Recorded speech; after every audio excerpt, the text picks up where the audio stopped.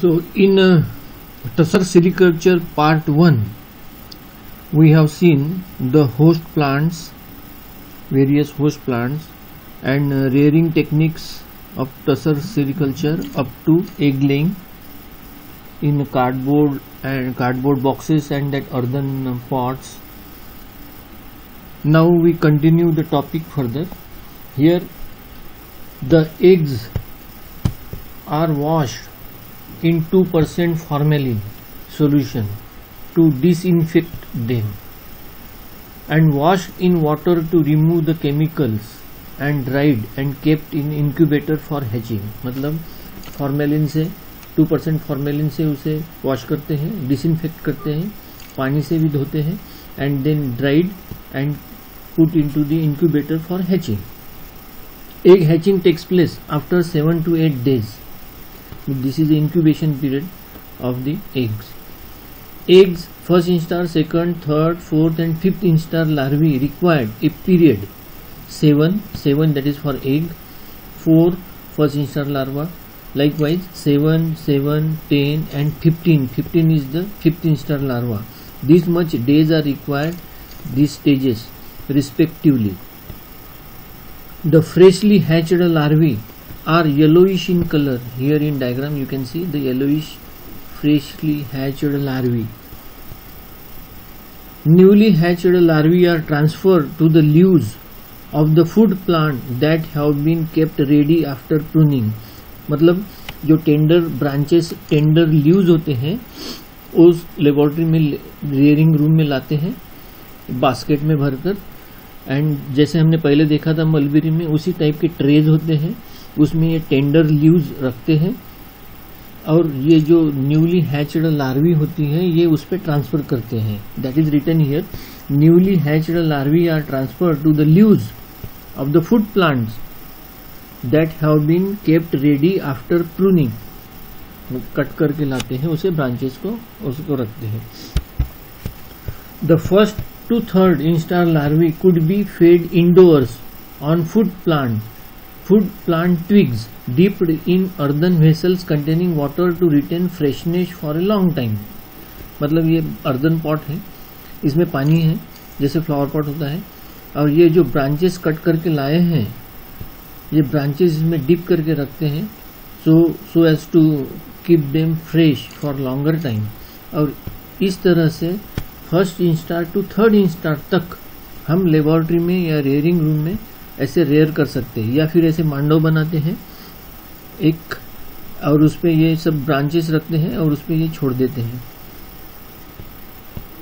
So the larvae feed grow in size and moult four times to become full grown full grown larva measures four to five inches and weigh up to fifty gram It then stops feeding and starts looking for a suitable spot on a twig. To spin cocoon to pupate. मतलब last instar larva जो होता है, ये फिर उस पेड़ पर एक पर्टिकुलर जगह ढूंढता है और उसमें अपना सुटेबल स्पॉट मिलने के बाद अपना ककून स्पिनिंग स्टार्ट कर देता है the larvae nibbles the bark all around the chosen site with a powerful mandibles to form a furrowed ring मतलब क्या इसका? कि एक जो ट्विग होती है, ट्विग, उसे जैसे रिंग होती है, अंगूठी, उस समान कट करता है गोल that is called nibbling nibble करने से, और वहाँ पे, वहाँ से स्टार्ट करता है स्पिनिंग और पहले पेडंकल बनाता है peduncle that is a like this is called peduncle and peduncle बनाने के बाद फिर ये ककुन बुनता है।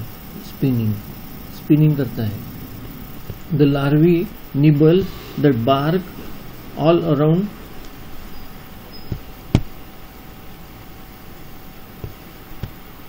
The larvae nibbles the bar all around the chosen site with the powerful mandibles to form a furrowed ring. This is followed by ejection of silk in a semicircular loops around the half the furrowed circle. The larva then secretes silk to make the peduncle which brings it near to the leaf tent it enters the tent and begins to spin the cocoon which takes 4 to 6 days to complete मतलब ये peduncle बनाता है और peduncle बनाने के बाद में ये ऐसे लीफ का एक नेट टेंट बनाता है टेंट के अंदर ये फिर स्पिनिंग शुरू कर देता है this and after completion of the spinning it looks like this. Peduncle and this cocoon. And in jungle these are the host plant. And all over the host plant this white color these are all cocoons. And these are the larvae. These are the larvae of tussar silkworm. Then these adivasi people they collect these cocoons in the baskets and bring into the laboratory for selling.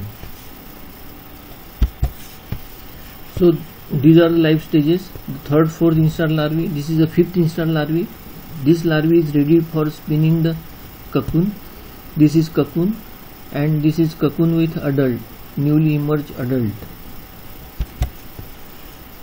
These are the cocoons harvested from the jungle forest and brought into the laboratory and kept hanging for drying purpose. Stiffling of cocoons the fresh cocoons are stifled not only to kill the pupae but also to ensure proper preservation of the cocoons by eliminating moisture.